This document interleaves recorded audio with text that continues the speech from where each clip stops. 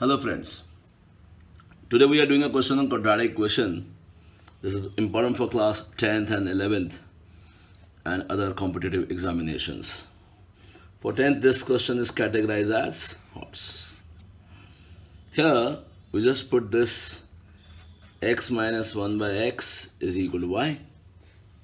So we squaring both the side. This is x square plus 1 by x square minus 2 x 1 by x is equal to y square. So we have x square plus 1 by x square is equal to y square plus 2. So we just substitute the value of this as y and this as y square plus 2 in the given question. The 6 bracket y square plus 2 minus 25y plus 12 is equal to 0. So guys, this um, is going to be quadratic in the variable y. So you have 6y square minus 25y plus 24 is equal to 0.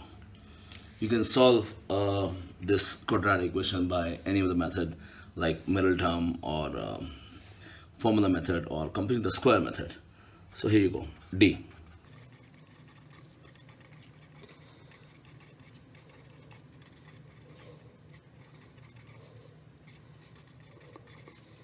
So value of y is minus b plus minus root d upon 2a.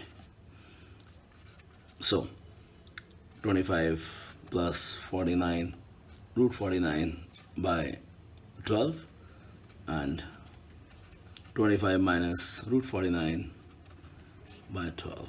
This is this is 32 upon 12 and this is um,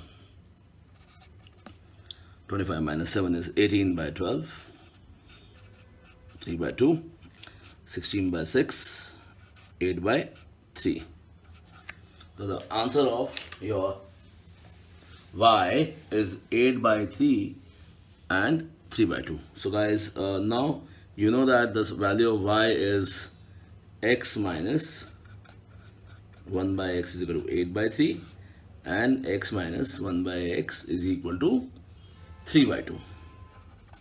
So again you have to multiply. This is quadratic equation.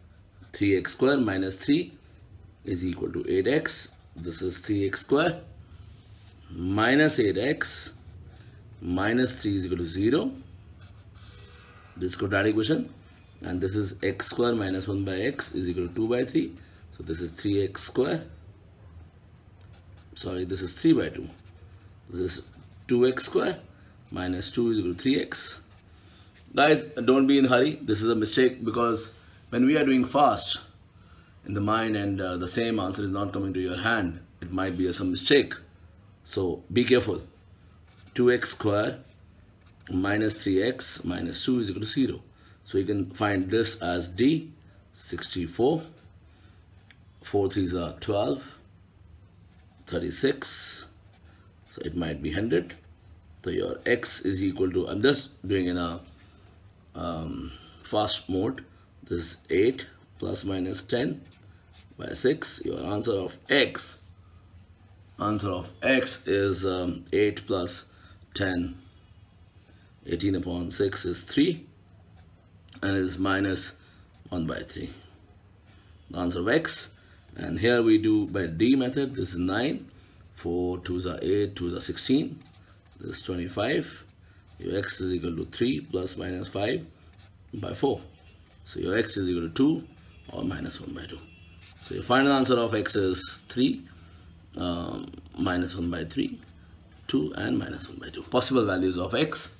So guys if you like this video just thumbs up and uh, keep watching our channel AVT